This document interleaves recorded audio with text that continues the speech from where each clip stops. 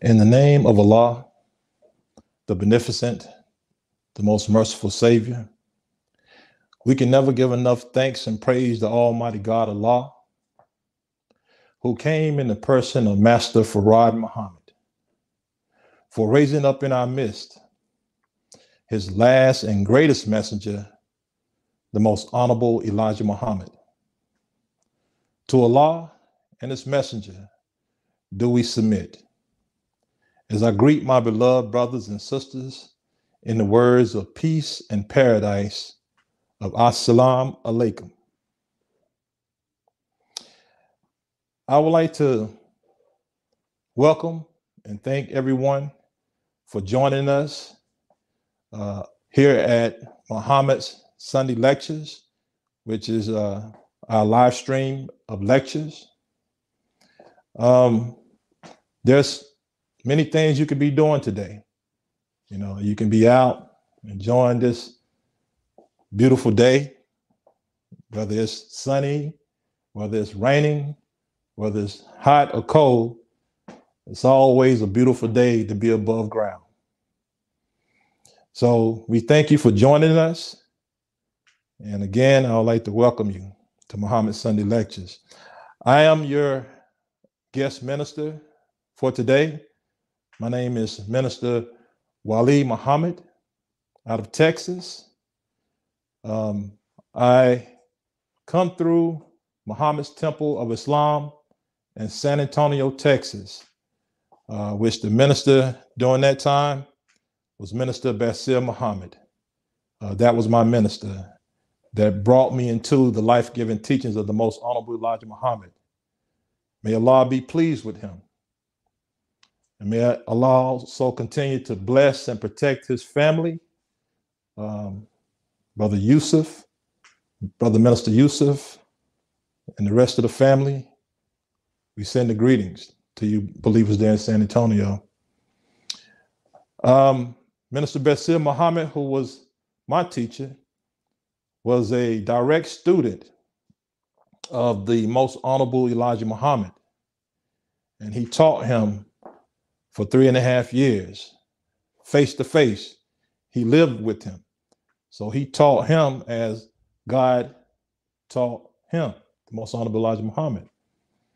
So I'm very fortunate and very blessed to have met such a man, Minister Basir Muhammad, who was able to give me the teachings as it was given to him. And uh, I'm very grateful for that. These uh, Sunday lectures has been brought to you by the Nation of Islam. I would like to thank uh, many brothers uh, and sisters who have been uh, involved in making these things happen. I would like to give a special thanks to Brother Daniel Shabazz. Uh, he's in uh, Arizona, and he's part of the uh, administrative team that's working behind the scenes to make this happen. So I'd like to send a special thank you to that brother and his family. Uh, I would also like to uh, thank all the uh, ministers who will be a part of this uh, series of lectures um, that we'll be presenting to you. They will also appear as guest speakers as well. I'd like to thank Minister Haq Muhammad out of New York, Coney Island. Very instrumental part of this process. I'd like to thank Minister Oscar Shahir out of Toledo, Ohio. He will also be a guest speaker. I would also like to thank Minister Rasul Hafiz out of Florida by way of New York. He's originally from New York, but he resides in Florida. And he's the son of Minister Hamza Hafiz, one of our great elders who walked alongside the most honorable Elijah Muhammad. I also like to thank our brothers who have also been a part of building, helping to build our nation. Uh, Brother Captain Hassan Sharif out of Detroit. I also like to thank Brother Captain Shabay out of New York, out of out of Atlanta by by way of New York. That brother's bi-coastal. Uh, brother Captain Amuel. I'd to thank that brother for his hard work. So many brothers. Brother Sharif Muhammad. I'd like to thank that brother for his dedication and contributing to what we're doing. Brother Secretary Rashid Shabazz. I'd like to thank him and send our condolences to him and his family for the recent passing of his sister. May Allah be pleased with her. I'd like to thank our treasurer, Brother Freddie X. Hood, out of San Antonio, Texas. Very instrumental part of what we're doing.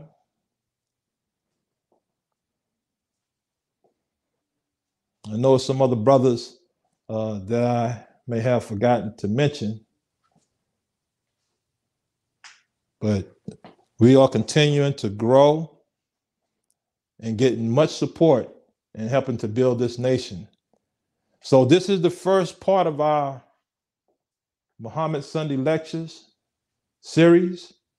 And we pray to Allah that this be a much success and it be a useful tool to help spread the life giving teachings of the most honorable Elijah Muhammad so that you can understand the purpose of these teachings and what it was designed for.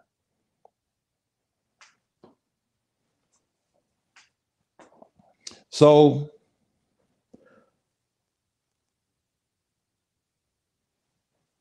these series that I will present to you will be based on the book called Message to the Black Man in America. This book is written by Elijah Muhammad. And this is the basis of what we are here to present to you in these lectures. It's a message for the black man in America and the black woman, primarily for the black man, but for the black woman and the rest of the world. It's important that you receive this message. Many of you may have read this book before. It's been promoted by a lot of famous people throughout history, such as Muhammad Ali, such as Malcolm X, such as Louis Farrakhan. So, this is where I start my basis for my lectures. What inspired me to, to use this as a basis for my lectures, because there are many other subjects that I could have spoke on today, but I chose to teach from the message to the black man in America because my son, his name is Ishmael Rasul. He's going to be 13 in a couple of weeks. And he just recently picked up this book and started reading. And he had become so immersed into the book and these chapters and these lessons that are taught in the book that he came to his mother and I and made profound statements as it related to what he was understanding on his own, reading from the book. I won't get into those profound statements, but it was so profound that it surprised his mother and I as to how he responded to this book. So I chose to go into this book to teach from because we understand that this is from the messenger of God, the most honorable Elijah Muhammad, who met face to face with God. So, without any further delay, we'll go into uh, into the lecture, which is an introduction to Islam as taught by the most honorable Elijah Muhammad. The first thing you would want to ask yourself is what is Islam?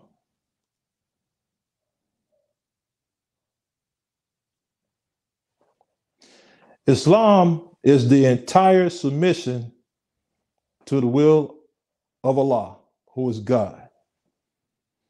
And the significance of Islam is the making of peace. This is what Islam signifies peace. Peace is the dominant idea of Islam. Understand that. Peace is the dominant idea of Islam. And Islam can be a, can be defined with one word, and that word is righteousness. Let's take a quick look at that word, righteousness. Allow me to write it on the board here.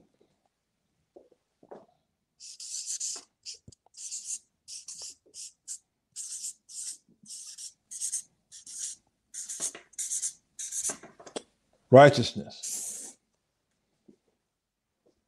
When you think of that word righteousness, you think of, you know, God, you think of holy, you think of being upright. And this is all true. But I want us to look at the base, the, the root of the word righteousness. The word right. My handwriting is, isn't the best, but I think it's legible. Right is the root word of righteousness. And what is it to be right? When you say Islam, one word defining Islam, which is righteousness, we're basically saying Islam is right. It is the right way. You know, for you to be righteous, you have to have the right thought of mind. You have to practice in the right way. You have to do the right thing. You have to say the right thing. You have to walk in the right way, the right path, in order to be righteous and full of righteousness. You understand? So that is the significance of Islam.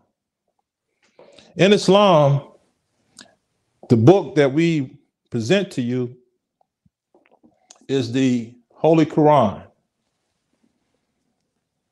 Allah is the author of the Holy Quran.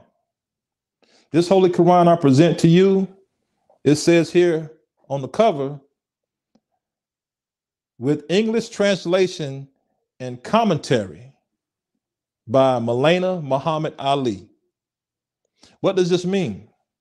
This means that Maulana Muhammad Ali translated the original text of this book, which is Arabic. He translated it into English for those of us who do not speak Arabic. And we black people here in America, we do not speak Arabic. Although Arabic is our original tongue, our original language. But that was stripped away from us during slavery, during the process of enslaving us. Those things had to be stripped away from us in order to make us slaves. Our original language, our original culture, our original way of life, the God that we worship, was stripped away from us. That's why during slavery, they separated the child away from the parents so that the parents could no longer teach the child of this culture. Our names were stripped away from us. When we were brought here to America, we were not called by the names that we go by today. We weren't called Johnson or Smith or Green or Jackson. None of these names. These names were placed on us, forced on us by our slave masters.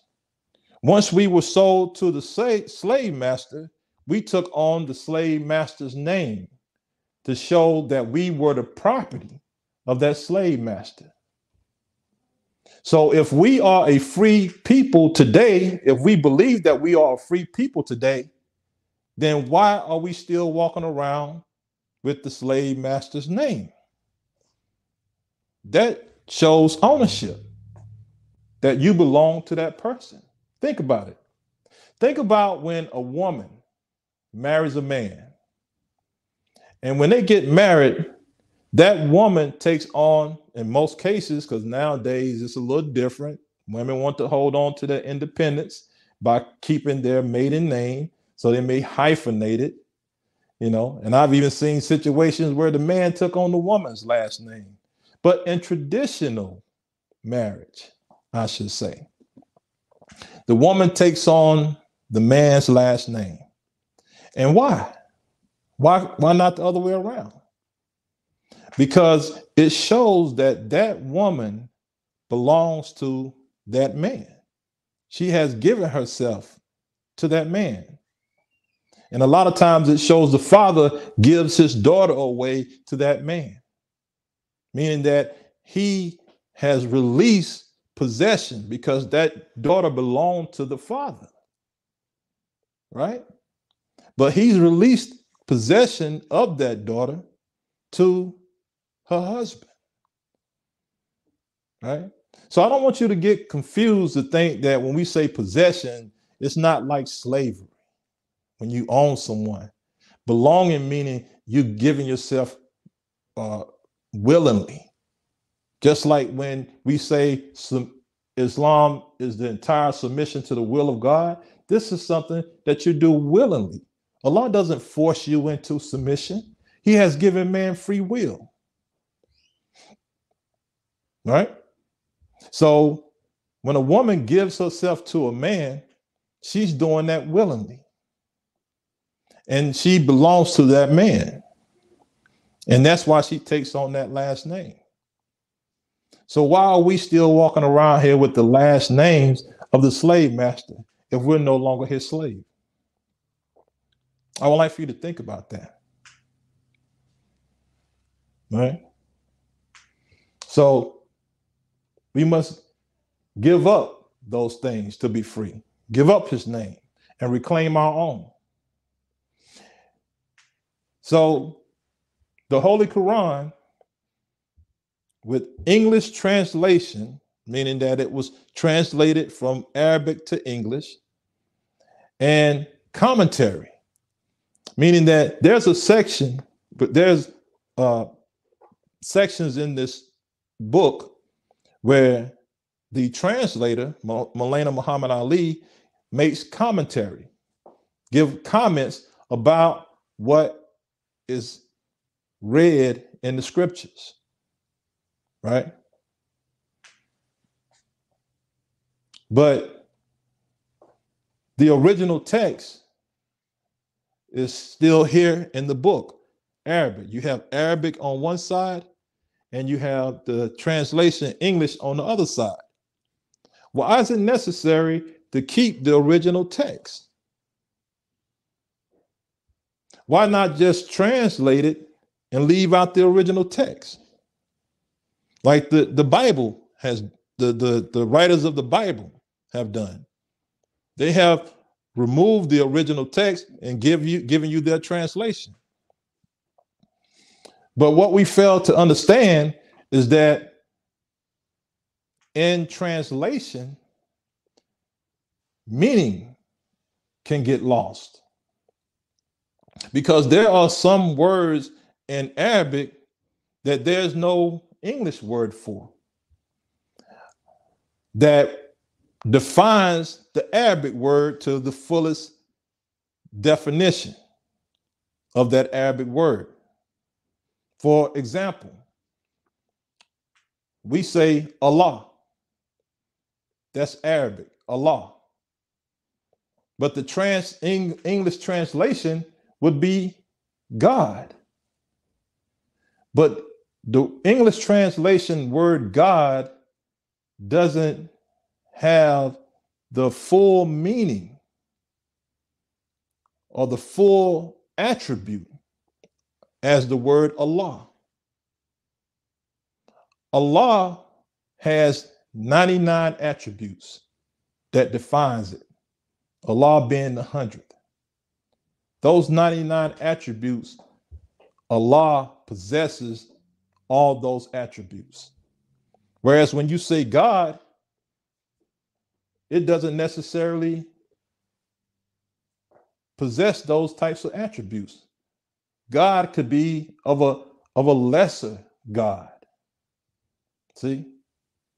In the scriptures, it teaches us that, that, that there are many gods. Right?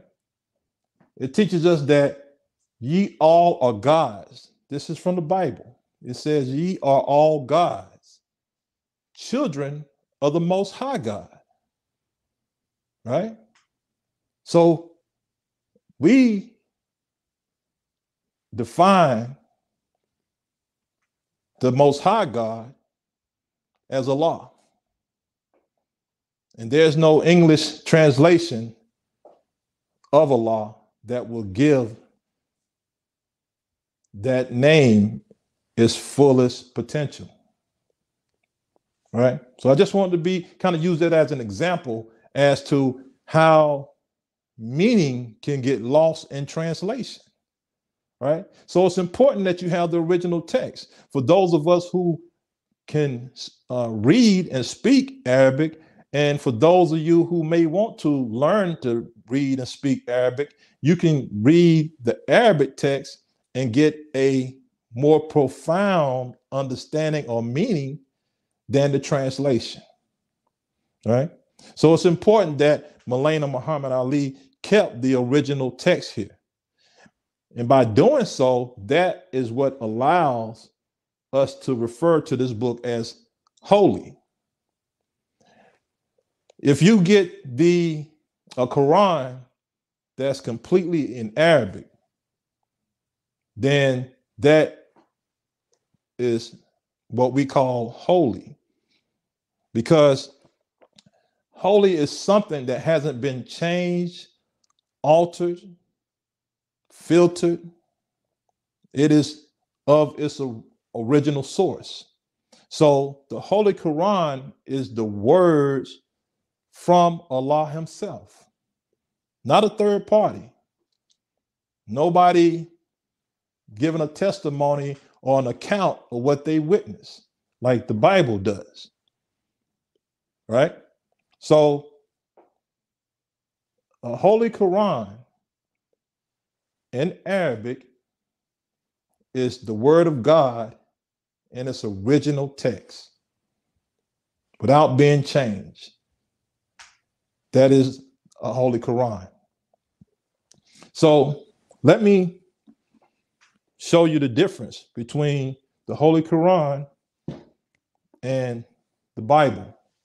Now, as a pretext, I want you to understand that we as Muslims believe in Allah, who is God, and we believe in all of his prophets from Abraham to Jesus to Muhammad. We believe in all the prophets of God.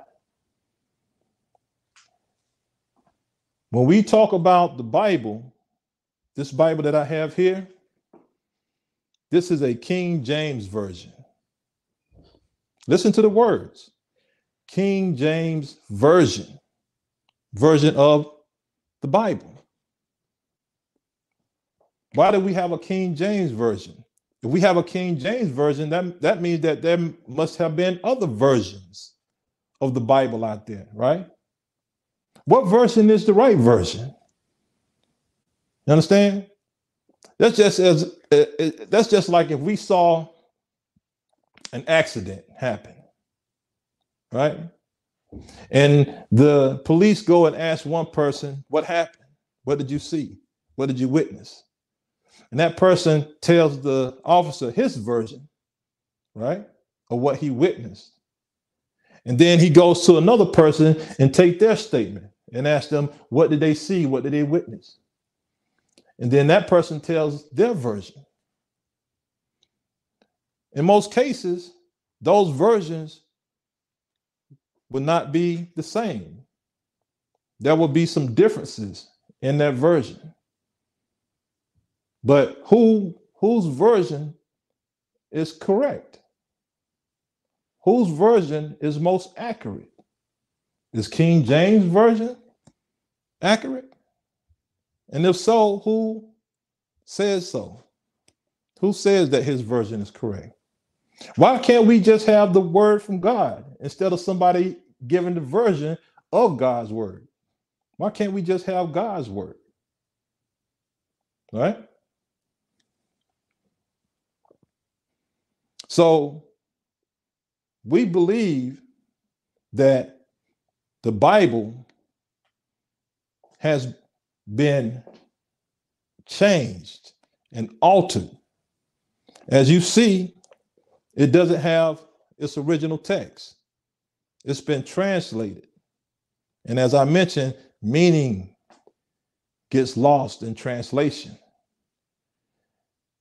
And meaning and truth also gets lost in versions, someone giving their versions, because versions is usually uh, someone's perspective of what they saw. And perspectives change with people, right? So it has to take someone who was raised by God because there is some truth in here. There's truth in the Bible. And we believe that these scriptures were delivered by men of God. But man has changed and altered it to use it for his purpose of deceiving the people. Right?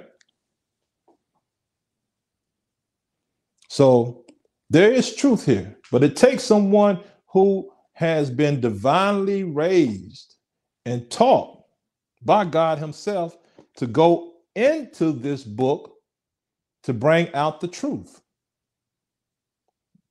Only someone divinely raised by God.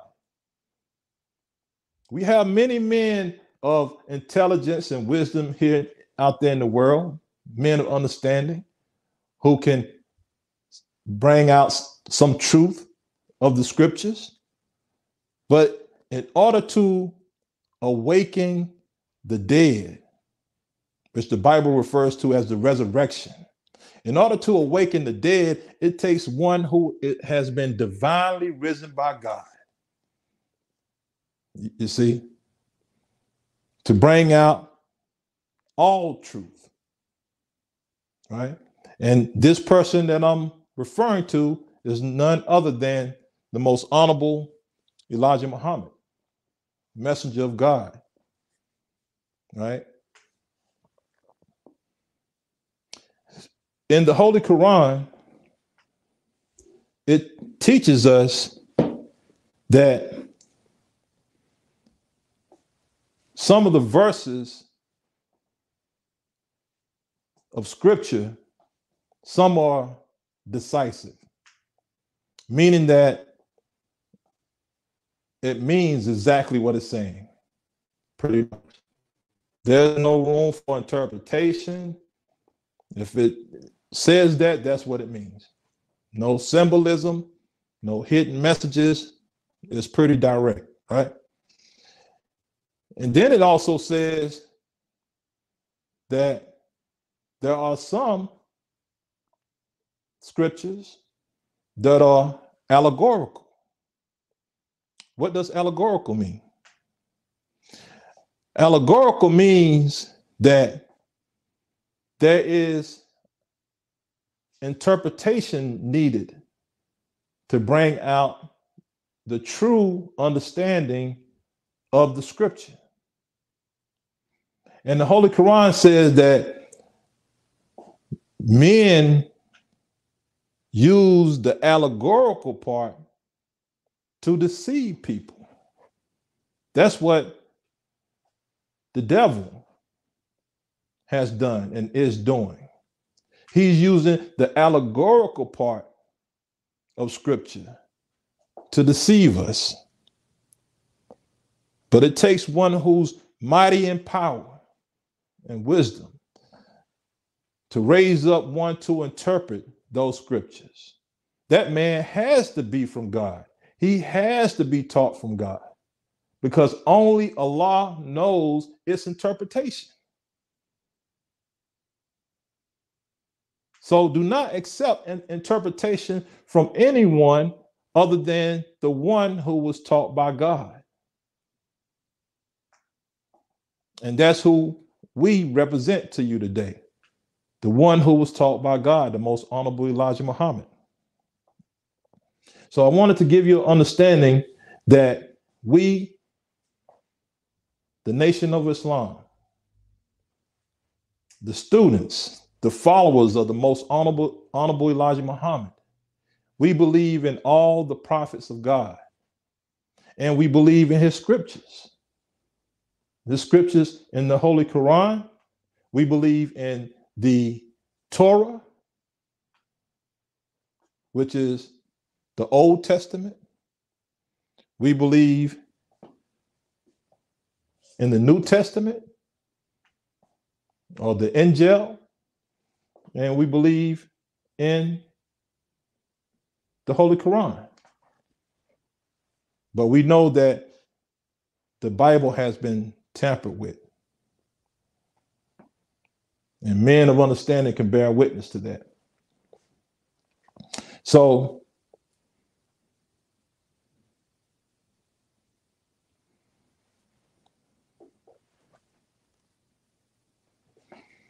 Allah is God. Who is that mystery God? Allow me to read the chapter from the message to the black man, which is titled Allah is God. You can follow along with me. Who is that mystery God? Mystery God, part one. For thousands of years, the people who did not have the knowledge of the person or reality of God worshiped their own ideas of God. Right? He has been made like many things other than what he really is.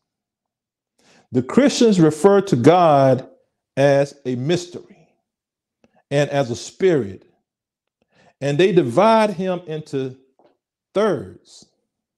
One part they call the Father, another part the Son, and the third part they call the Holy Ghost, which makes the three one right?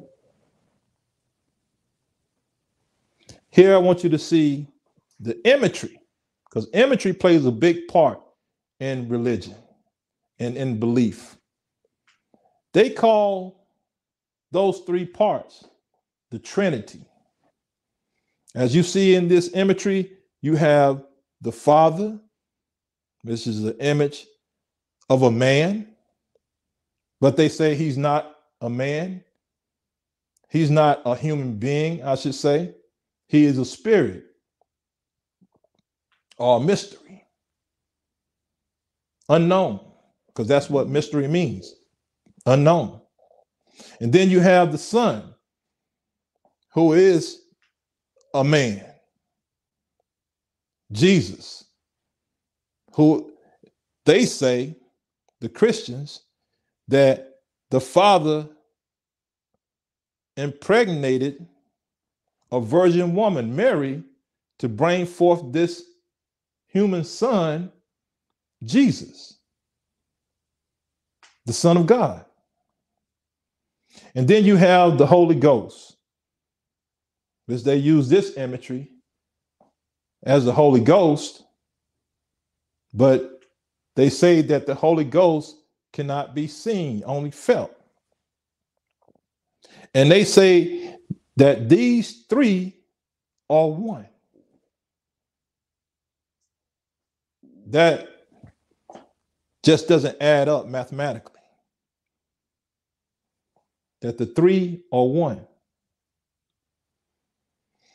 So, this is what they teach us, and this is what they expect for us to believe into this Trinity of God the Father being somewhere beyond the sky in a place called heaven that no one has witnessed, no one has died and went to this place and came back to tell us about it. Right?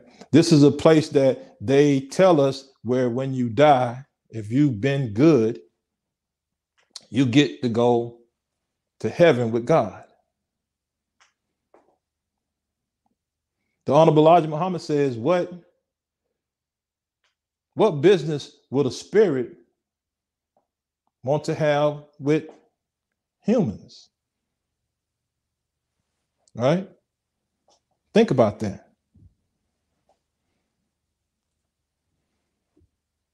The Honorable Elijah Muhammad teaches us that God is not a spirit and that God is not a mystery.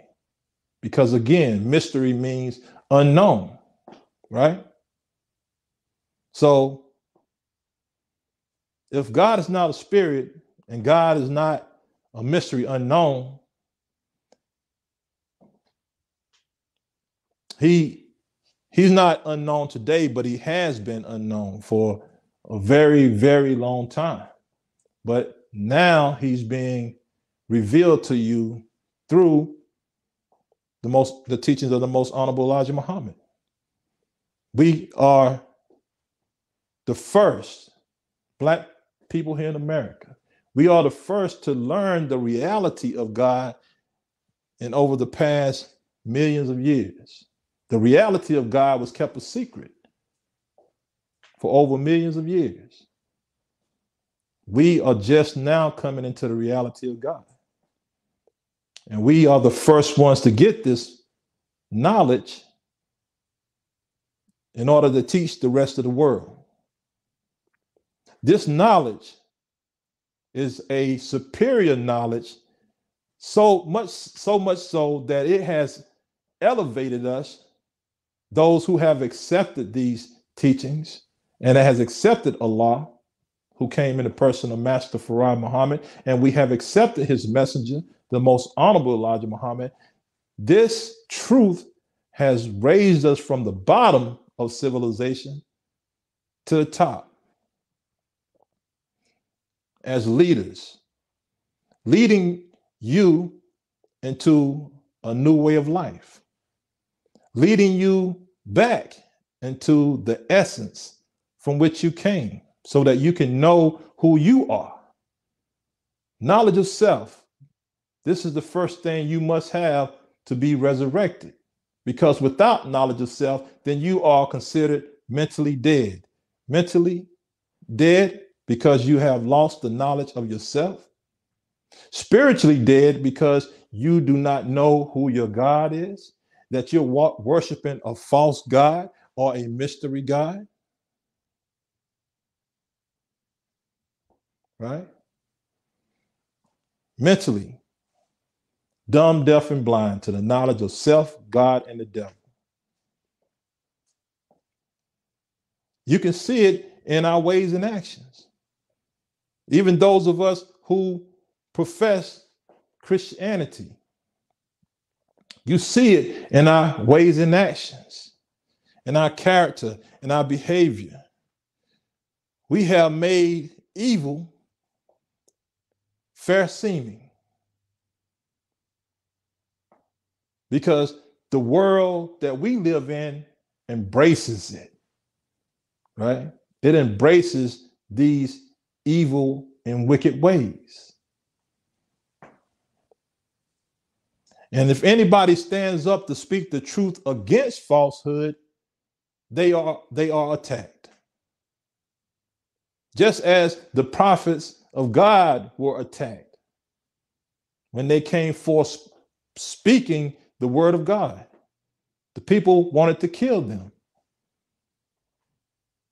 They wanted to get rid of the most honorable Elijah Muhammad because he was teaching the truth.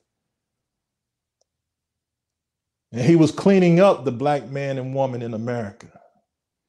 The world has never witnessed anything like that before. To look at these people who were brought down to our lowest state, being uh, uncivilized and a savage people. That's what slavery did to us. It made us a savage people.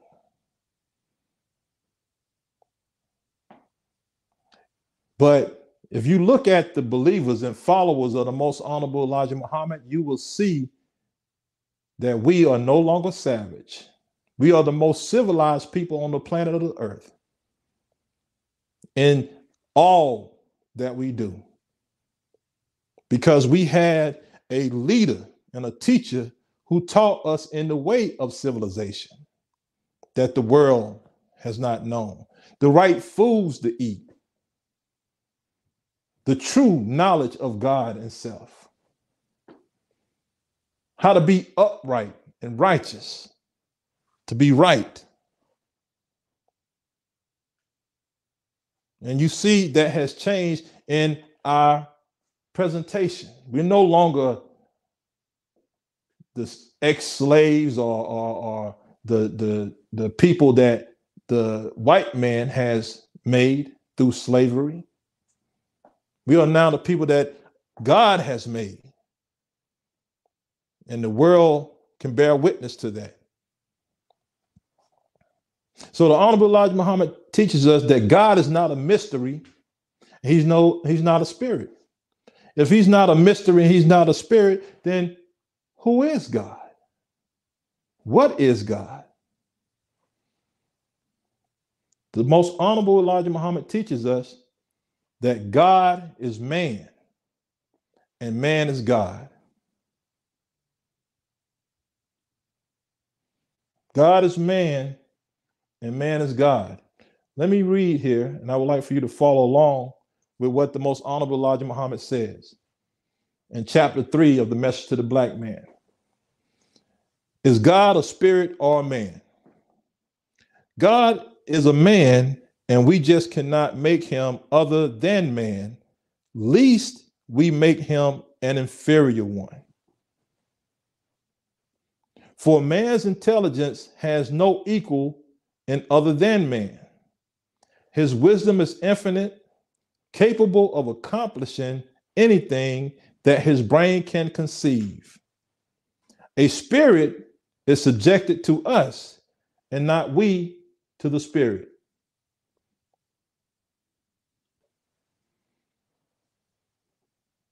So the Honorable Elijah Muhammad says that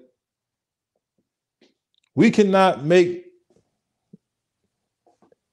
anything other than man God unless we make him an inferior one. Think about it. People all over the world throughout history of time have worshiped many things.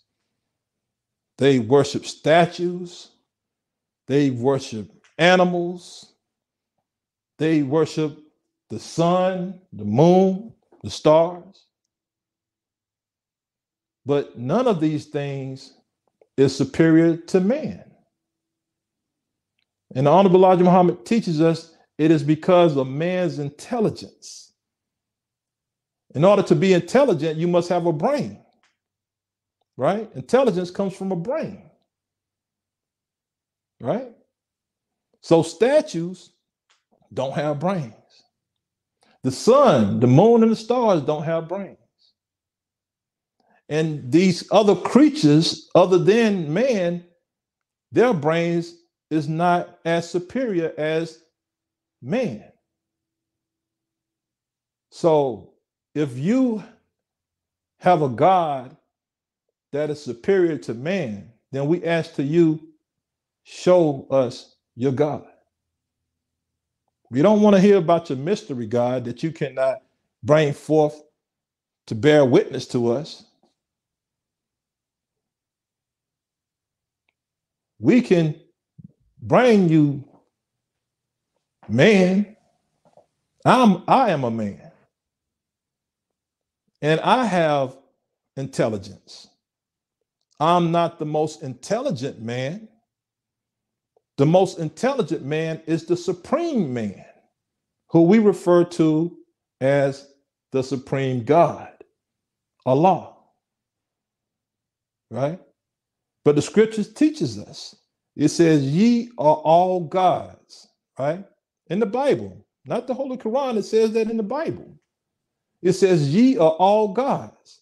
So am I lying? I'm not, not telling the truth when I say that man is God? Because it's referring to man. It says, ye are all gods. But it says, ye are children to the most high God. That means that there's a God that's superior over all the other gods. There's a man that's superior over all other men. And what makes him superior? He's superior in the way of knowledge, wisdom, and understanding, and force and power. That was that is what makes him superior. So we need to understand that. I would like to go a little further into the message to the black man before I reach my closing. And I want to thank you all for your time and attention for allowing me to share this knowledge with you all.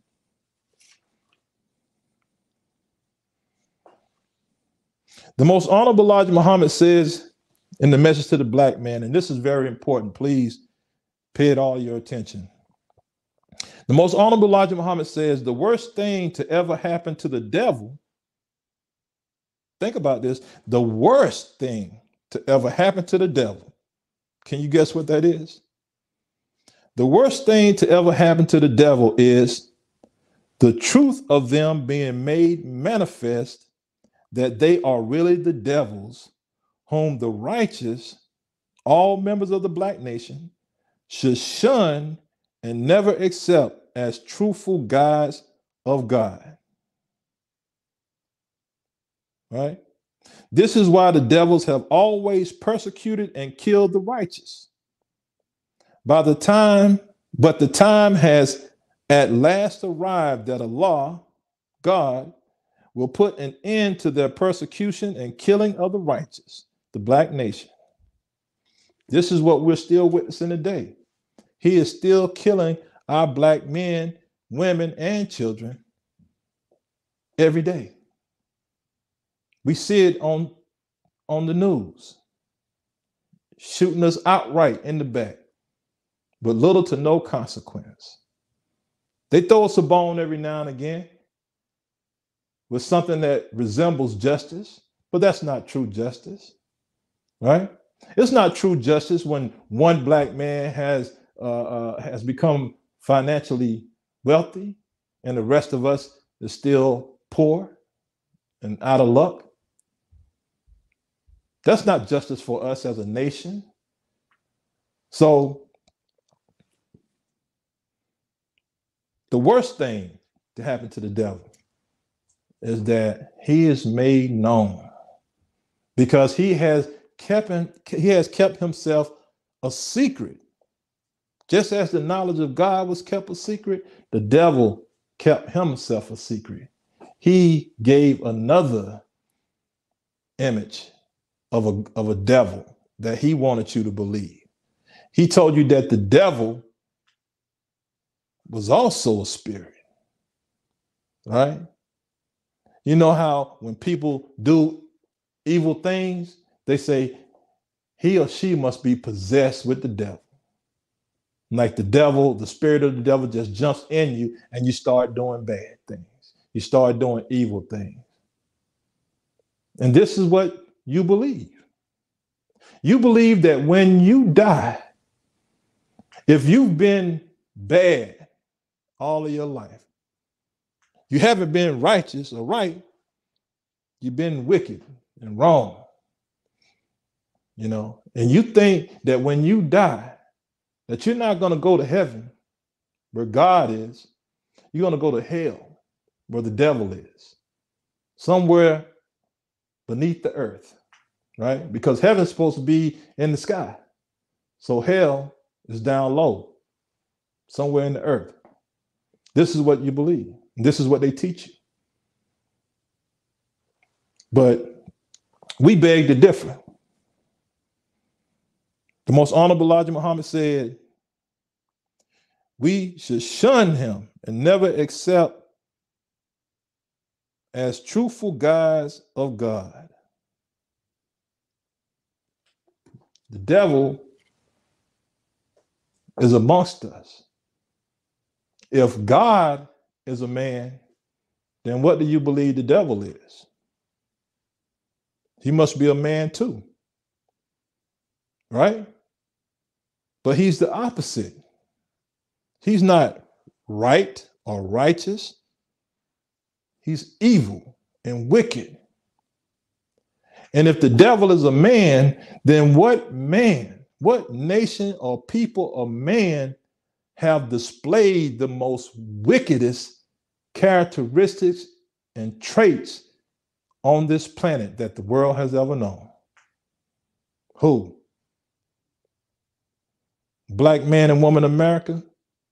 I know you know the answer. We know the answer. But we fear him. We fear the devil because we don't know God. Once you know God and self, then that fear will be removed because you will begin to know the devil. The most honorable Elijah Muhammad said, the worst thing that can happen to the devil is the truth of them being made manifest. If you know that he's the devil, then he can no longer deceive you. Right?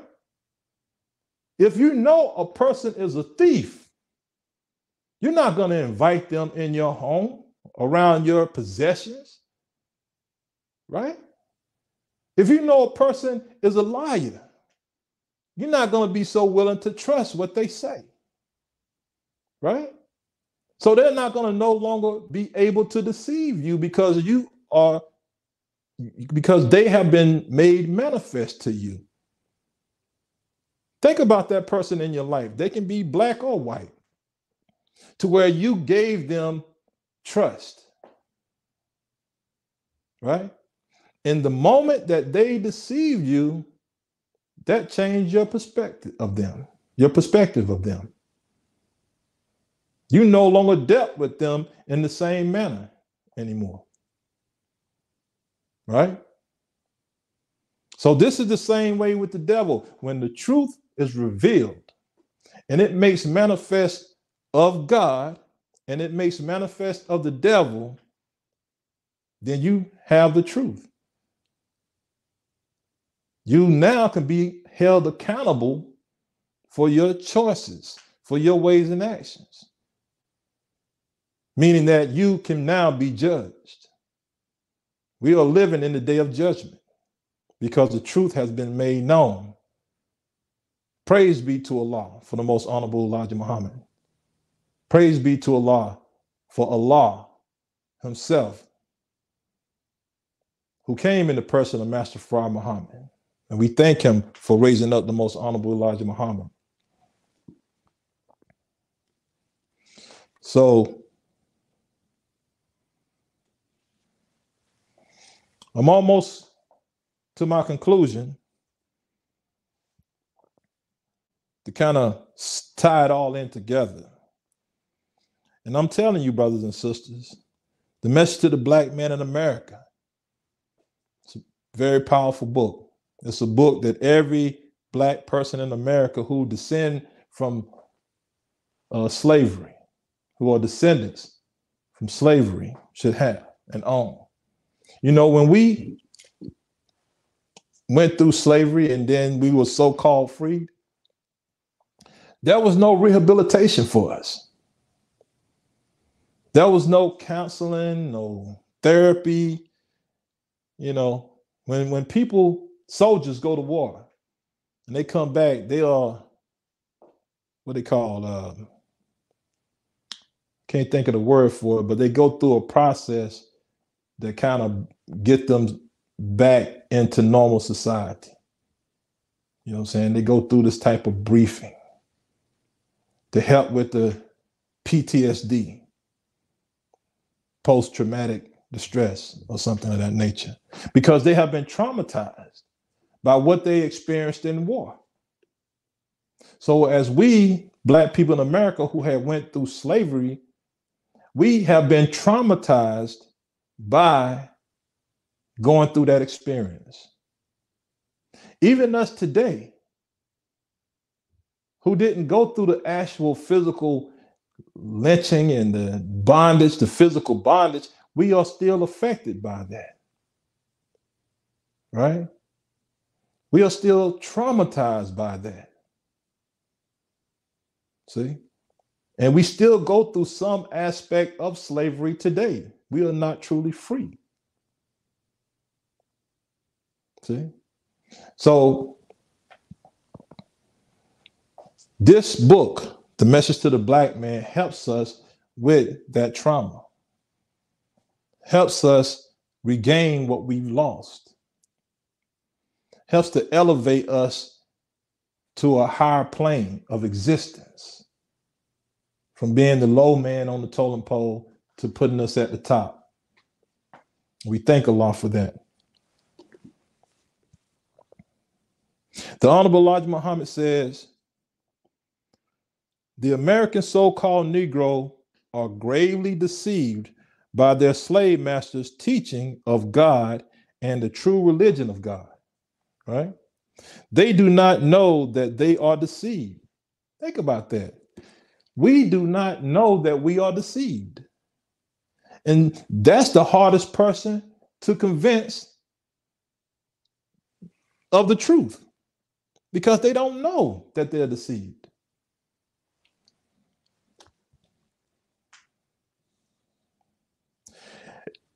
They do not know that they are deceived and do earnestly believe that they are taught right, regardless of how evil the white race may be. Not knowing self or anyone else, they are a prey in the hands of the white race. We have been and still is a prey to the white race. The world's arch deceivers, the real devils in person. Huh? You are made to believe that you worship the true God, but you do not. he's talking to our brothers and sisters who have followed the, the devil, have followed him in his, into his way of belief. God is unknown to you in that which the white race teaches you a mystery God. God is unknown to you.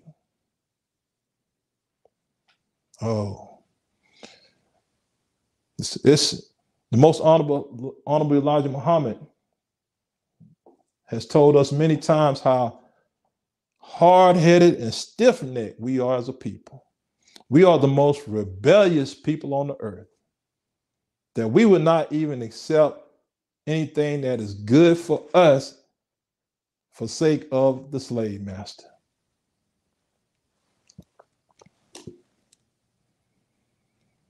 And lastly, brothers and sisters, lastly,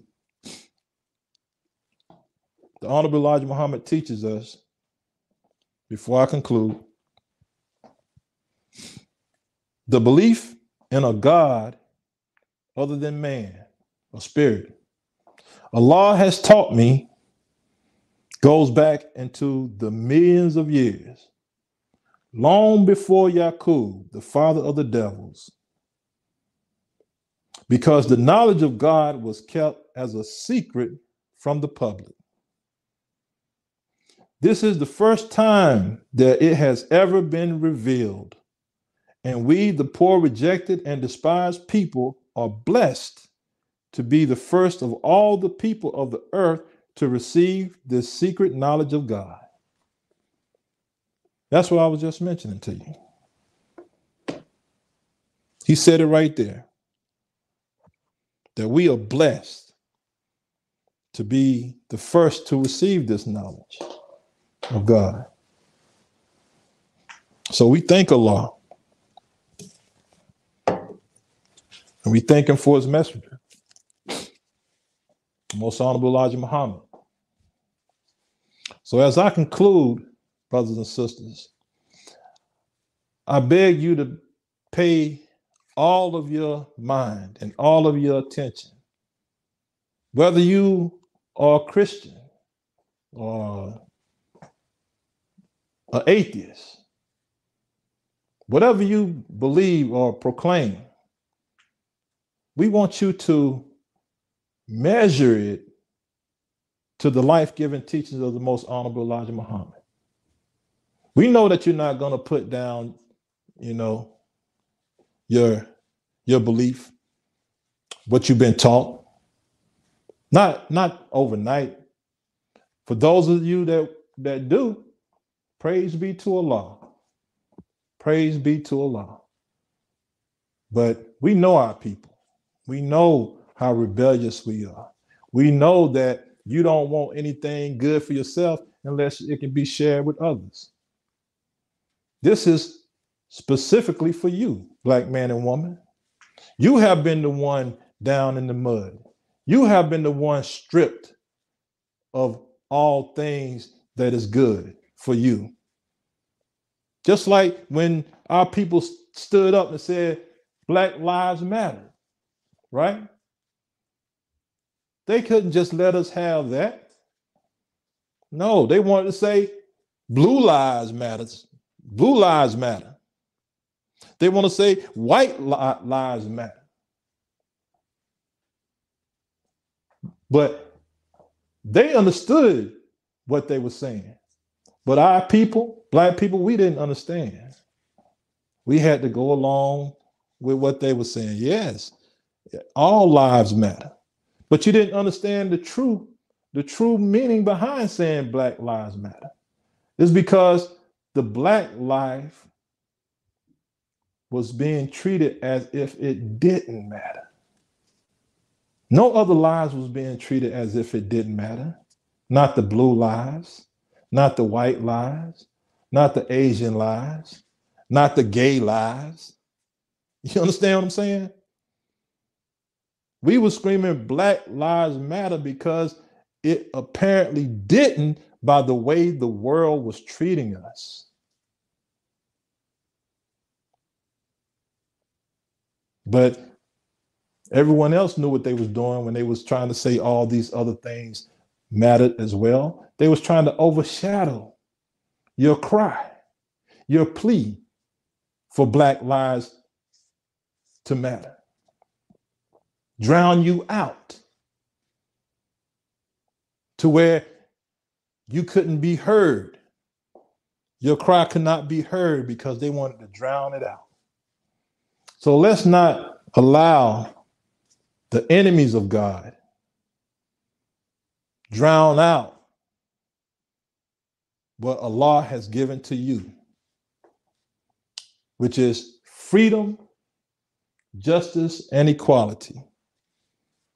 Islam, your true way of life, the way of life of your ancestors, the nature in which God created